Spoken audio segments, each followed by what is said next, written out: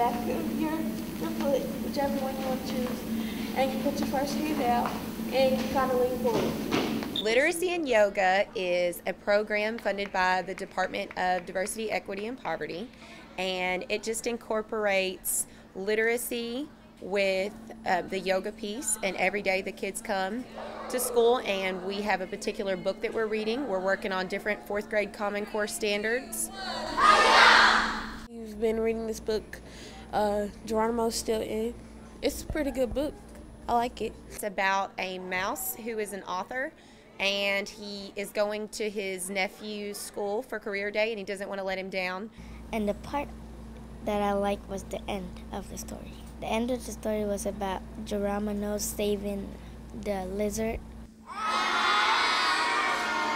Perseverance is a big theme that we've been really uh, focusing on, and the kids really seem to get it. Just, uh, you know, never give up. Something will always go wrong. Don't let that deter you from your goals.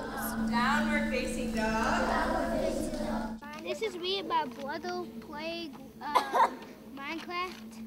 Mm, we do some poses. We do things that are fun. Breathe in once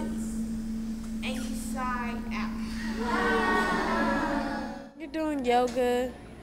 You you feel like you want to give up because the first day I tried this and I never done it, I was like I ain't ready to do this. Like my back was hurting and my feet were hurting and I was, it was terrible for me. And I was just like, you know what?